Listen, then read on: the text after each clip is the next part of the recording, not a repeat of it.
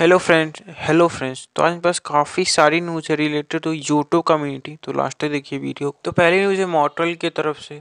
तो एक video upload की जिसमें वो अपने आप के बारे में गूगल पे सर्च करते हैं और बताते हैं कि वो गूगल पे सही है या गलत तो उसी में वो अपने अर्निंग के बारे में सर्च किए। तो उनको जो मिला, उनका रिएक्शन देखिए उसके बाद।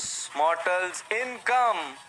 According to Social Blade, Mortal received around 37 million views on his YouTube channel in the last 30 days. His estimate monthly earning are about 9.4k dollars to 1 lakh 50 thousand dollars, and his estimated yearly income is earning is 113k dollar to 1.8 million dollar well ये social blade का मैं आपको एक चीज़ बताता हूँ।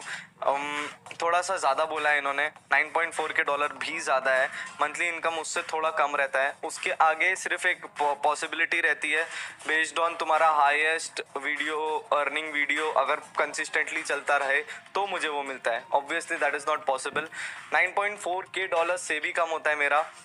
That is pretty obvious और अभी तो खैर पबजी बैन के बाद और और ज़्यादा कम है। uh, अगली न्यूज़ है लक्ष्य चौधरी की तरफ़ से। तो अपने यूट्यूब पे एक वीडियो अपलोड किए यूट्यूब रिवाइंड 2020 कर जिसमें वो 2020 में जितने भी चीज़ वायरल हुए हैं सारे के बारे में बात की है। लेकिन बहुत सारे लोग बोल रहे कि उसमें विनोद नहीं था। तो उसी पे उनका रिएक्शन देखिए क्या था।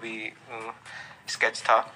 और बहुत से लोग कमेंट कर रहे हैं कि भाई एक मीम ट्रेंड रह गया उसमें विनोद वो भूल गया। नहीं भाई याद था असल में ऑर्गेनिक ट्रेंड की बात थी। मीम पेजेस को पैसे दे के जो ट्रेंड चले थे उनकी बात नहीं थी अगली न्यूज़ ट्रिगर इंसान और श्रेय पॉइंट की कंट्रोवर्सी के बारे में। तो वो खत्म हो चुका है। उसी में वो लास्ट ट्वीट करके बताया कि अब सब ठीक है। और इसमें एक और बात है कि दोनों ट्वीट लगभग लगभग सेम ही है। मतलब जिसके कारण शुरू हुआ था वो वहीं से खत्म भी हो तो ओके कैसे आज के लिए इतना ही। अगर वीडियो पसंद है तो लाइक करो और सब्सक्राइब करो यार।